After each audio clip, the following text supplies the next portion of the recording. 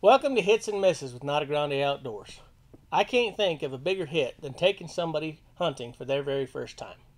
Last year, that's exactly what Kyle and I did when we took Emily and Adrian, our Hunt It Forward participants, on their very first hunt, where each of them successfully tagged an antelope. We're hoping to do the same thing this year. What we need right now are some Hunt It Forward applicants. So if you are somebody or know somebody that would like to join our Hunt It Forward family, please get in contact with us. We have Instagram, Twitter, Facebook. We have a website, nadagrandeoutdoors.com, or you can drop us a line via email. The address is notagrandeoutdoors at gmail.com. Thanks for joining. Don't forget to hunt it forward. Adios.